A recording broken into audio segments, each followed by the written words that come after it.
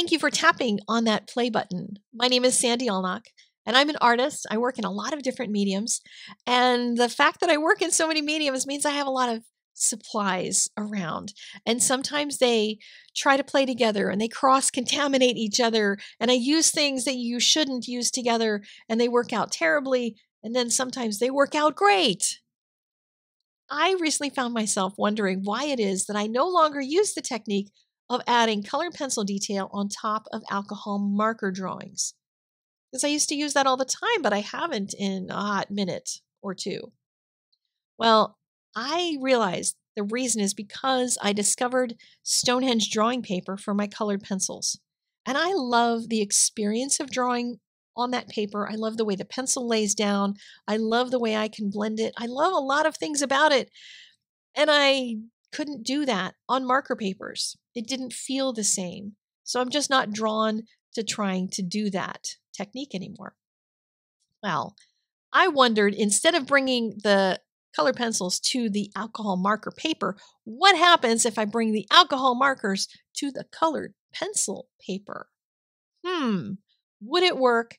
And would the paper retain the surface that I love so much for colored pencil by the time I got all that alcohol marker work done?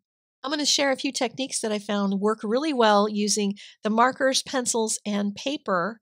I'm going to also show you a demo from something that's coming up in the near future that I'm very excited about. Are we ready? Let's go do this.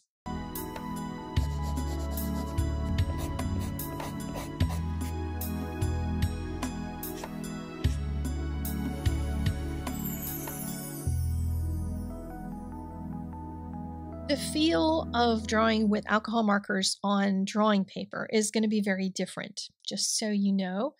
It's got more friction on the surface because there's a softer texture to it than there is on marker papers that you might have been used to. So on the left is Neenah Solar White. On the right is the Stonehenge. You can even hear the difference between the two. The coloring is also a little bit lighter on the drawing paper due to that bumpy surface. I'm going to turn this into a chunk of fur, which means I need to have a dark color at the base where it touches the animal and then lighter toward the tips of the fur.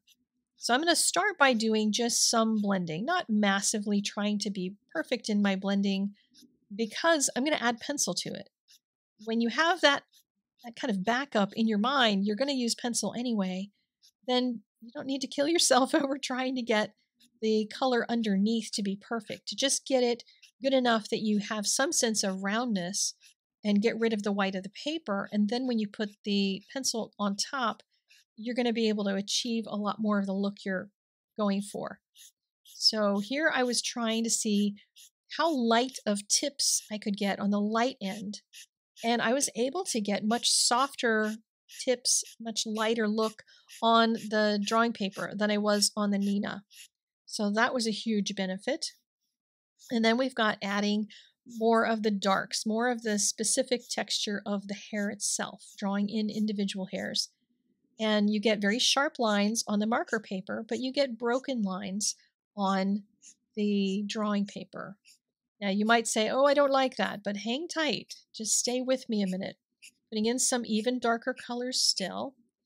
And then I wanted to do something I, I do a lot, which is going over a texture with another color, a lighter version of the color, just to start to bring it all together so it doesn't look like it's overdrawn.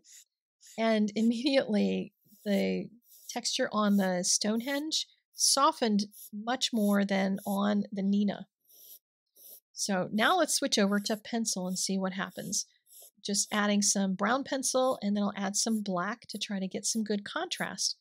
And this was where the night and day difference started to come in because the texture of the paper actually pulls more pigment off of the tip of the pencil. That's why you get stronger color for your colored pencils on a drawing paper than on something really smooth.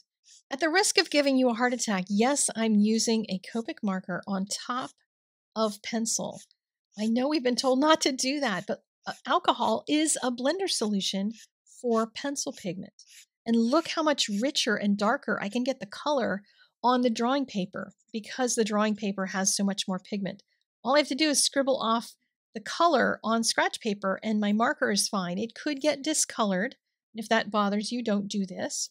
But I find that it works really great and doesn't affect the performance of my markers.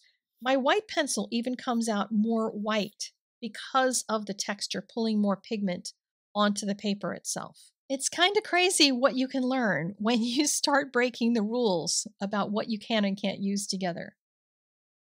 Now, for that project I spoke of.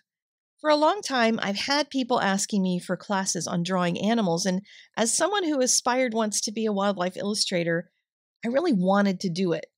There's a lot of reasons I didn't, but as I started playing with this paper, marker, pencil combo, I got excited about teaching an animal class. But when I added up just how much footage I had suddenly collected, almost seven hours of drawing for this level four class, it's it was orders of magnitude more than I'd ever put together in one class, and it was going to have to be expensive because of that. But it's also one reason I'd been putting off an animals class because the way I had been structuring my classes, five to 10 bite sized lessons, you know, a series that builds on each other. You learn one thing, and then in the next piece of art, you learn something to add to that knowledge. That was how I taught. And I had thought through that kind of process with these animals, but with that much content, it would the class was just going to be out of reach.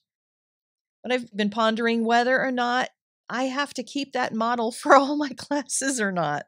I mean, really, I'm not even sure anybody notices all that structure that I follow. Maybe some of you teachers do.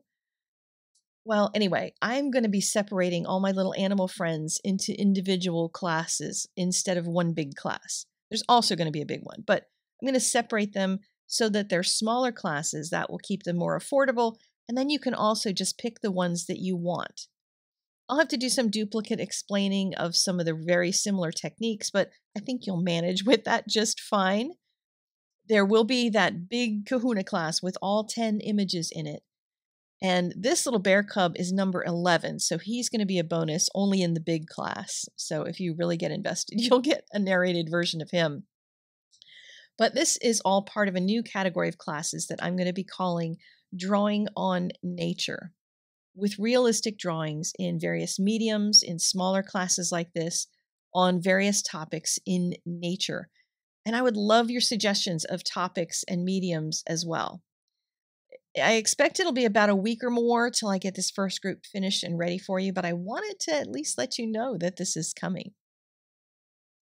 If you'd like to be first to hear about the progress I'm making on drawing on nature, please do click on the link in the doobly doo to subscribe to the art classes.com email list because that's where you're going to be first to hear about it.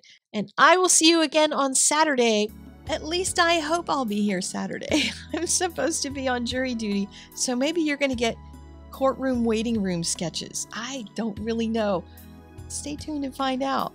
Who knows what's coming? Go out and have a great week. Create something every day, and I'll see you soon.